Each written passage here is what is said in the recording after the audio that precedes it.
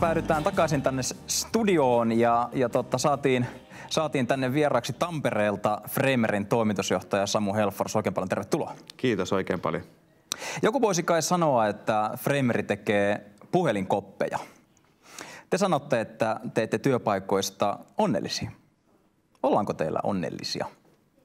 No tota, siihen mun on vaikea vastata kaikkien meidän henkilöstön puolesta, mutta, mutta, mutta mä niin ajattelen enemmän niin, että, että se, että me ollaan valittu sellainen missio, jossa me tehdään sekä me asiakkailla että meidän organisaation sisällä ihmisestä onnellisempia sen työn kautta ja työn sisällön ja, ja sen niin kuin organisaation kehittämisen kautta, niin, niin mä uskon, että se vie meitä parempaan suuntaan kuin että me ei oltaisi valittu sitä tietä. Eli, eli sitä kautta mä uskon, että ainakin pitkällä aikavälillä me pystytään tekemään meidän työntekijöistä onnellisempia.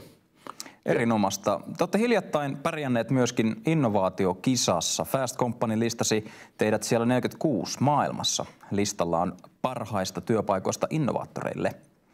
Onko teille vain kerta kaikkiaan rekrytty sitten uteliaita ja innovatiivisia ihmisiä vai Mist, mikä homma?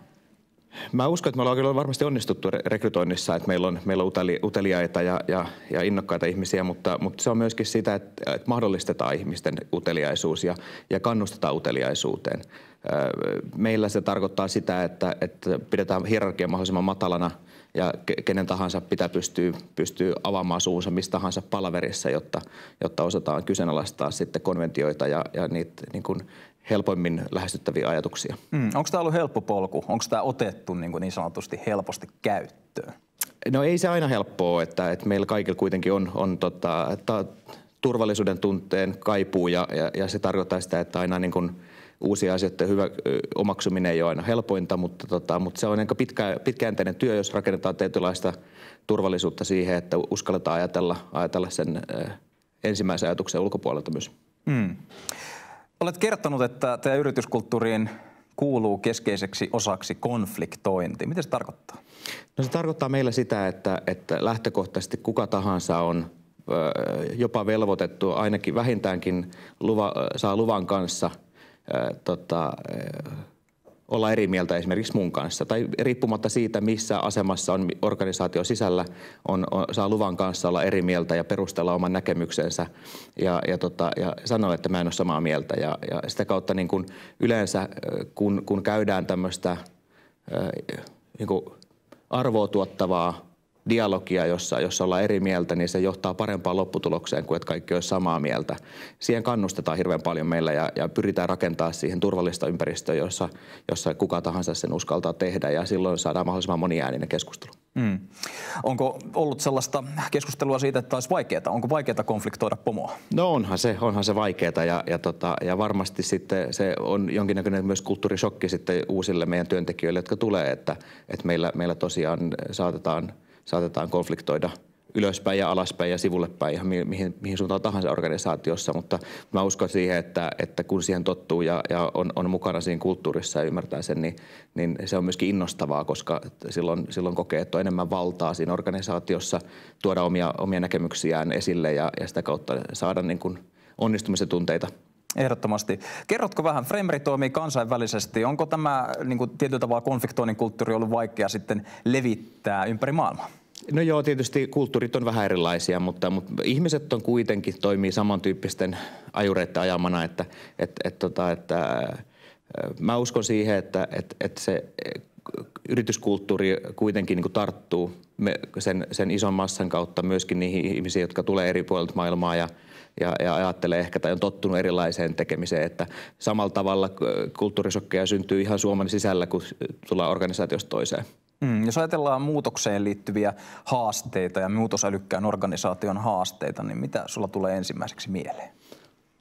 No, no tota, ehkä se, se on niin kuin semmoinen tiedo, muutoksen tiedostaminen on, on tärkeä, tärkeä homma, että, tai sen tiedostaminen, että kaikki meistä on lähtökohtaisesti aina, aina pelkää muutosta, oli se sitten minkä, minkä, minkälaista tahansa – ja, ja, tota, ja niin minäkin. Ja se, jos, kun sen tunnistaa itsessään ja sitten pyrkii löytämään ne syyt, että minkä takia mua joku muutos nyt aiheuttaa musta aiheuttaa vastarintaa tai, tai minkä takia mä en halua, halua nyt lähteä tähän mukaan tai miksi se tuntuu pelottavalta, niin sitten yleensä päästään myöskin sitten vastaamaan niihin per, perimmäisiin kysymyksiin. Että jokainen, kaikkihan haluaa välttää huonoja muutoksia – mutta, mutta joskus nekin on tarpeellisia, mm. sanotaan näin.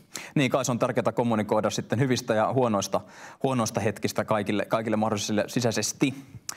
Sä oot puhunut myöskin muutosjohtamisen teeseistä. Mitä tarkoitat näillä? No mä sanoisin ehkä näin, että onko olemassa edes mitään, mitään muutosjohtamista vai onko vaan johtamista. Että, että meillä ainakin niin johtaminen tarkoittaa sitä, että me saadaan aikaiseksi joku, joku muutos siinä, mitä me tehdään asioita nyt.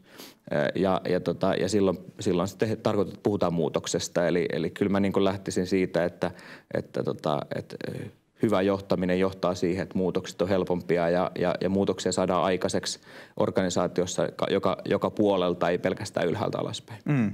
Jos palataan hieman tuohon haastattelun ensimmäiseen kysymykseen liittyen onnellisuudesta, niin mm. niin miksi valitsitte tämän teeman? No se oikeastaan lähti siitä, että me koko, koko yrityksen tavallaan alkutaipaleella me, me perustettiin yritys sen takia, että me ei oltu silloisessa työpaikassa onnellisia – sen takia, että meillä oli tämmöinen henkilökohtainen ongelma, että, että, että keskittymisrauha puuttu.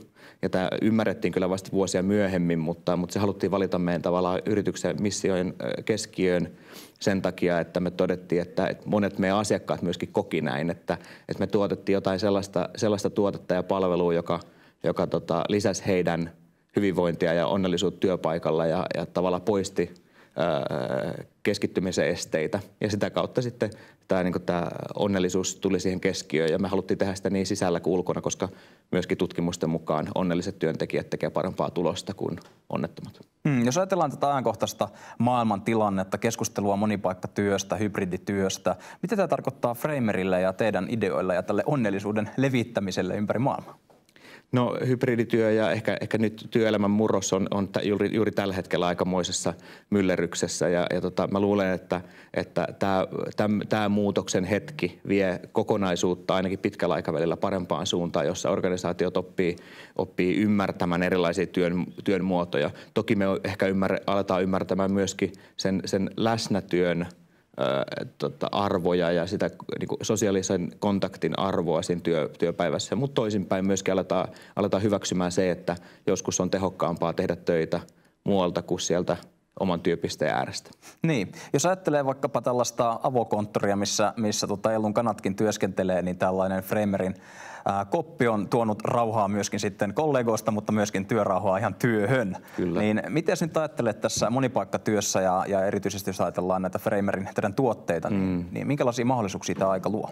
No tietysti tärkein, tärkeimpänä pointtina on se, että mitä me ollaan huomattu myöskin omassa työympäristössä on se, että vaikka nyt, nyt etätyön aikana toimisto, toisto, toimiston käy, yleiskäyttöaste on tippunut ja vähemmän ihmisiä on siellä toimistolla, mutta meillä ainakin sisäisesti kaikki kopit tuntuu olevan silti käytössä. Eli nämä etä, e, etäpalaveritarpeet, keskittymisen tarpeet ja, ja niin kuin kommunikaatiotarpeet niin kuin lokaatiosta toiseen lisääntyy ja meidän tuotteethan on niin kuin rakennettu siihen, että, että sinänsä meillä on niin kuin positiivinen – tavallaan trendi myöskin olemassa siitä, että, että, että me pystytään ratkaisemaan sitten tämän uuden mallin mukana tuovia haasteita. Mielenkiintoista ja, ja varmasti kun toimitte tällaisessa uudessa, uuden ajan luomissa haasteissa, niin se myöskin sitten vetää puoleensa ehkä innovatiivisia työntekijöitä ja, ja muutenkin uteliaita henkilöitä. Pitääkö tämä paikkansa?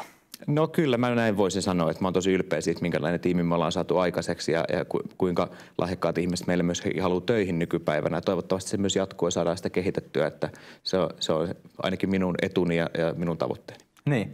No minkälaista palautetta, niin jos ajattelee, olet Tampereella, ymmärtääkseni on pääkonttori, mm. niin minkälaista palautetta, jos, jos ajatellaan, että Helsingistä, Lontoosta tai Berliinistä huippu, huippu tota, osaajia tulevat, tulee sitten teidän pisteellinen Tampereelle, niin minkälaiset puitteet siellä on? No kyllä me ollaan rakennettu aika, mun mielestä aika makea, makea työympäristö sinne Tampereelle meidän, meidän pääkonttorille. Se on sellainen postindustrialistinen tota, uuden elämän saanut sanomalehtipaino, jossa on sellaista tota, vanhan, vanhan tiedonvälityksen historiaa ja nyky, nykypäivän teollisuushistoriaa sitten, sitten samassa ympäristössä. Siitä on tehty tosi hieno ympäristö, että se on, se on osaltaan niin kuin, tota, tosi semmoinen meidän ylpeyden aihe. Mutta toisaalta sitten ehkä tärkeimpänä on, on kuitenkin tämä meidän kulttuuri ja, ja, ja matala hierarkia ja läpinäkyvyys, mitä me tarjotaan. Oletteko sitten julkaissut jotain kulttuurikäsikirjaa tai muuta, millä, millä tavoin sitten teidän henkilöstö pystyy tähän sukeltamaan tähän teidän Framerin ajatteluun? Joo, me ollaan rakennettu, me ollaan tuossa pari vuotta sitten ensimmäisen kerran koostettu meidän kulttuuri, tavallaan kulttuurikäsikirjaksi, joka on siis työkalu lähinnä meidän henkilöstölle, mutta myöskin esimiehille siitä, että minkälaista kulttuuria meillä vaalitaan, minkälaisia arvojen mukaan me toimitaan ja, ja minkälaisia asioita me arvostetaan ihmisissä ja meidän kumppaneissa. Nyt mä juurikin, juurikin tällä hetkellä tehdään työtä sen eteen, että sitä uudistetaan ja, ja, ja tavallaan – tuodaan tähän päivään ja katsotaan, että mikä siitä on totta ja mikä me halutaan, että haluttaisiin, että on totta tulevaisuudessa ja mikä siitä ei ole enää totta. Ja mm. se, se on kuitenkin elävä, elävä ilmiö koko kulttuuri ja, ja tota, sitä ei voi määrätä, se, ta, se tapahtuu ympärillä.